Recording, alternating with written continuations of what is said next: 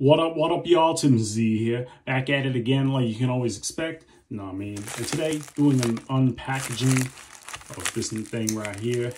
Let's get right into it. All right. Let's see where we're going to cut in. We're going to cut in right here. Hopefully my knife is still sharp.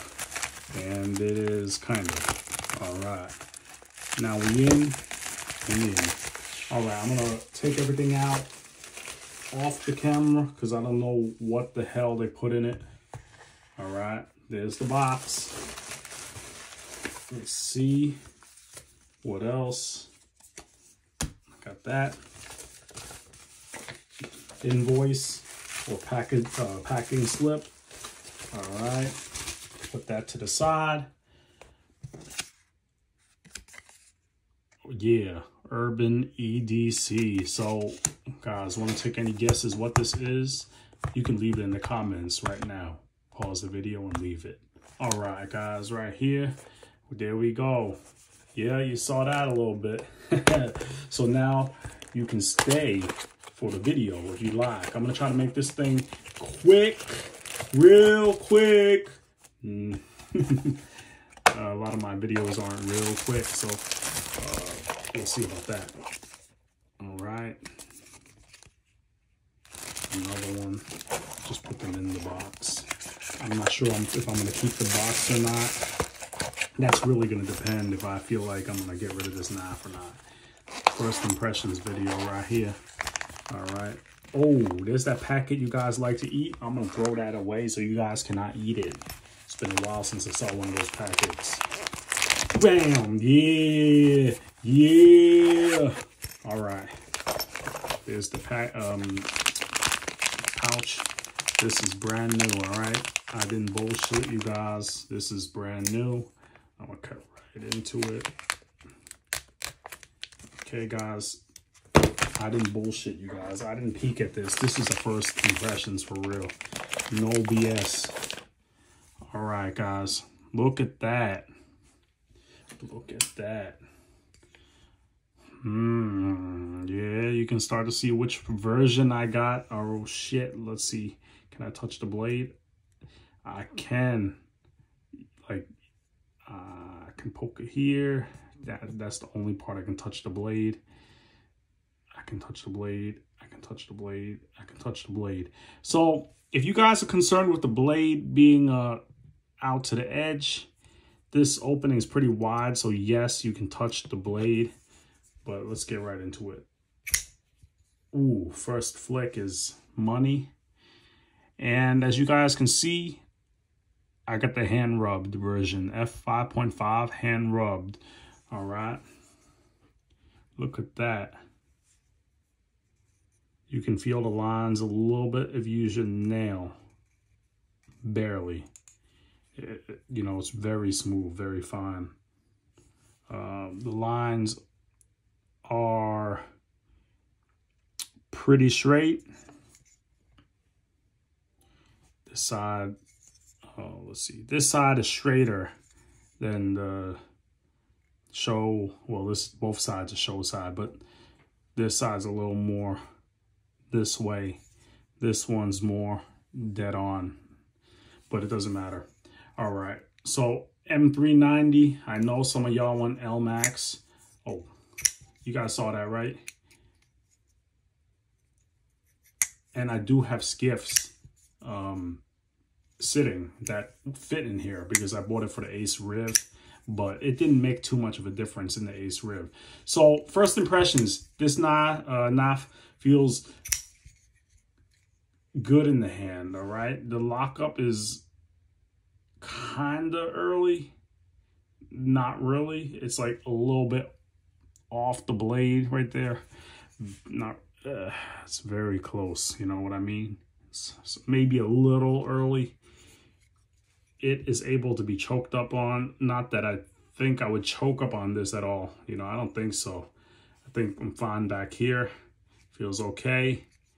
Choking up, maybe. I mean, yeah, man. The blade's not super thin at all, all right? Look at that. Flat grind through the whole thing. It is not thin. This So this is a candidate for a regrind if you want, but I'm not going to do that. I'm not a fan of those things too much. Let's see. Ooh. Action. How does the D10 feel? D10 feels... It's not too heavy. The fact that I can roll it out with my thumb shows it's not too heavy, all right? This knife is pretty heavy though. Uh, let's see what we got here. We got a scale, boys. We got a scale. All right, let's go right into it.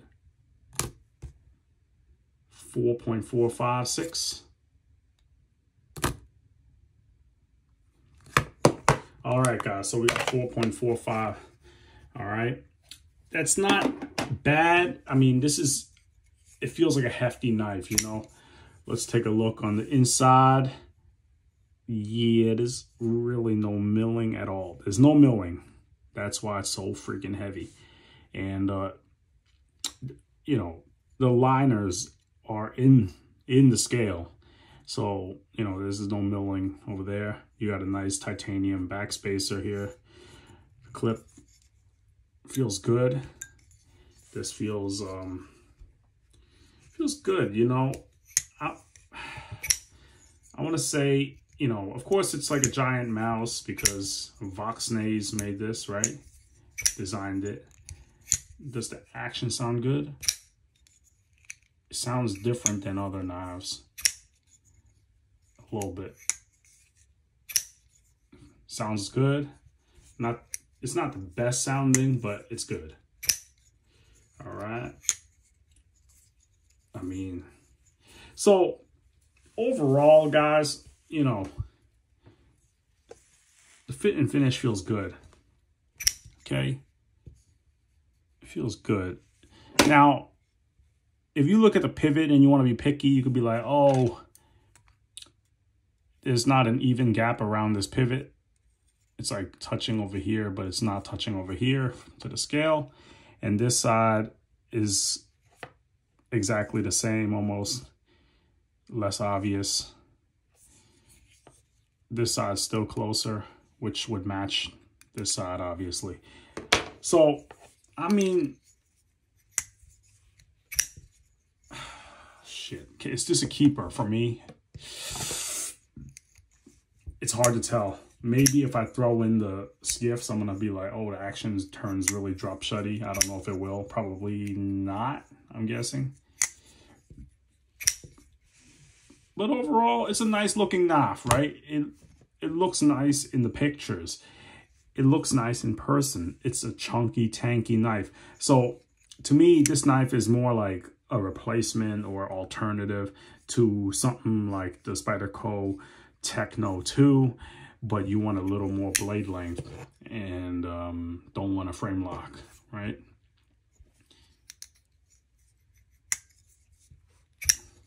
Overall, though, it feels solid in hand.